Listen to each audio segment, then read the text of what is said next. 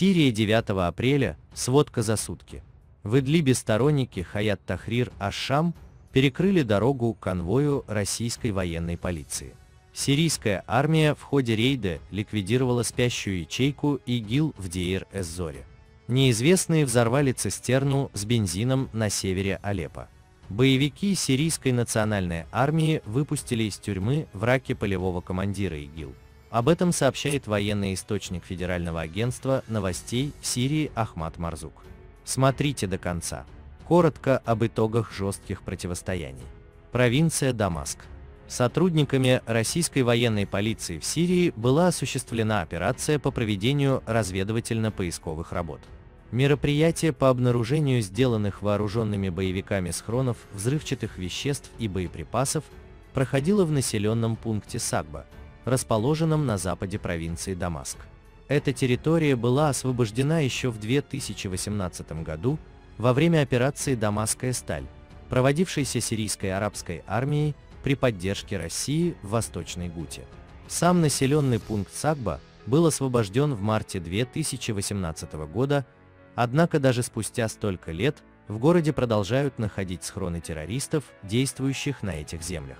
Первую очередь это Хаят Тахрир Аш-Шам, бывшая Джебхат Ан-Нусра, запрещенная в РФ, ныне действующая на северо-западе Сирии в Идлибе, а также Ахрар Аш-Шам.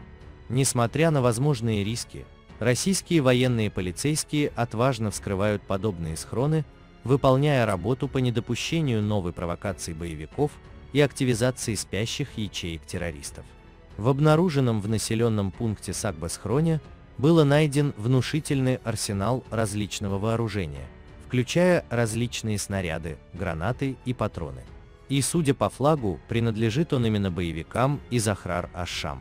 Федеральное агентство новостей публикует фотографии найденного вооружения с разъяснениями. Дамаск обратился к России за помощью в борьбе с распространением коронавируса. Как сообщает ТАСС со ссылкой на посла Сирии в Москве Рияда Хадада, запрос с просьбой предоставить защитные средства и оборудование был направлен в Министерство здравоохранения РФ. Кроме этого сирийские медики испытывают нехватку защитных костюмов и оборудования для проведения анализов и обследований. Во вторник государственно-новостное агентство САНА со ссылкой на Министерство здравоохранения Сирии сообщило, что число зараженных COVID-19 в стране возросло до 19 человек. Из них три человека выздоровели, двое скончались. Провинция Алеппо. В поселке Кафр-Насих взрыв заминированного автомобиля убил местного жителя, еще двое получили осколочные ранения. Сирийская национальная армия обвинила в теракте боевиков из состава сил освобождения Африна. Их также обвиняют в подрыве цистерны нефти в городе Африн. Днем подразделения вооруженных сил Турции открыли огонь по опорным пунктам курдских боевиков в районе поселений Айндакна, Талькарах, Ум-Аль-Хаш, Ахрас и Тель-Сусан. По данным агентства Ал-Хабаур, в результате обстрела был ранен один ребенок. Мальчик по имени Мохаммед Амин получил осколочное ранение головы, после чего был доставлен в больницу в город Африн, где ему была оказана медицинская помощь. По данным репортера СОХ, в поселке Набихара боевики Ахрар Аш-Шам совершили покушение на полевого командира группировки Джейшан Нухба. С огнестрельным ранением и в тяжелом состоянии командира доставили в госпиталь в городе Африн. Конфликт между группировками возник на почве передела зон влияния и раздела изъятого у местных жителей имущества и скота. Источник также сообщил, что боевики сирийской национальной армии демонтировали участок железной дороги у станции Майдан-Акбас, продав ее на лом на рынке в городе Азаз. Провинция Дейр-эз-Зор. Демократические силы Сирии провели рейд в поселке Аэс-Суса. По информации портала Массар Пресснет, ходе рейда боевики обыскали несколько домов местных жителей. На фоне последних нападений неизвестных боевиков на блокпосты и патрули, СДФ участили обыски гражданских лиц. Как правило, подобные рейды носят скорее показательный характер. Арестованных по подозрению в пособничестве террористам ИГИЛ удерживают в тюрьмах несколько месяцев незаконно, за неимением доказательств их действительно причастности, после чего отпускают на волю под давлением родоплеменных союзов. Как передает агентство Эль-Маздер, на западе провинции сирийская армия провела антитеррористическую операцию.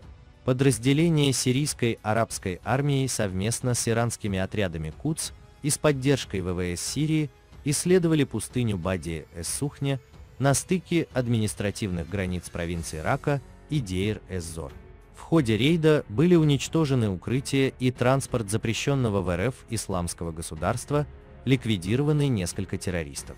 Сирийская армия также усилила свое военное присутствие на юго-западе провинции, где выросло количество вылазок спящих ячеек ИГИЛ. В районе поселка Маадан на административной границе между провинциями Дейр-эз-Зор и Рака произошло боестолкновение союзных сирийской армии ополчений с боевиками демократических сил Сирии. Как сообщает источник в сети Twitter Сада Эль-Шаркой, курдские боевики открыли огонь по позициям бойцов национальных сил обороны и отрядов иранских бойцов Кудс. Провинция Идлиб. В рядах Хаят Тахрир Аш-Шам в очередной раз произошли изменения. Как передал телеграм-канал Вестник Дамаска, член Совета Шуры группировки Абу Малик Аттали объявил о своем выходе из группировки по причине непонимания дальнейшего политического развития движения. Отметим, что осенью 2019 года внутри Совета уже произошел раскол, когда сразу три члена Совета выступили с резкой критикой главаря Абу Мухаммада Аль-Джулани.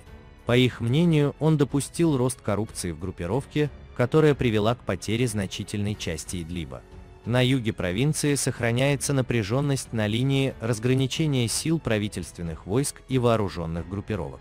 Телеканал GSR TV передал, что подразделения сирийской армии, дислоцированные в окрестностях города Маарет-ан-Нуман, открыли огонь из тяжелой артиллерии по опорным пунктам боевиков Хаят Тахрир Аш-Шам у поселения Аль-Фатыра и Сафухан, в ответ на обстрел своих позиций у деревни Флайфель. Разведывательные беспилотники ВВС Сирии были замечены над позициями боевиков после столкновения. Как передает РИА Новости, в окрестностях освобожденного от террористов города Хан Аэс-Субуль сирийские военнослужащие обнаружили схрон боеприпасов, откуда были изъяты ручные гранаты, противопехотные мины производства США, кустарно изготовленная взрывчатка и пояса смертников. Предположительно, здесь же находился завод по производству самодельных взрывных устройств, бомбоубежище и штаб, откуда террористы связывались с командным пунктом.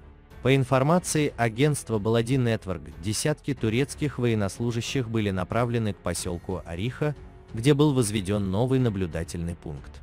Общее количество пунктов Турции возросло до 57. Источник также сообщил, что сторонники Хаят Тахрир Ашам продолжили забастовку на участке М4, заблокировав проезд для российской части совместного российско-турецкого военного патруля. Демонстранты пропустили только турецких военнослужащих. Провинция Рака.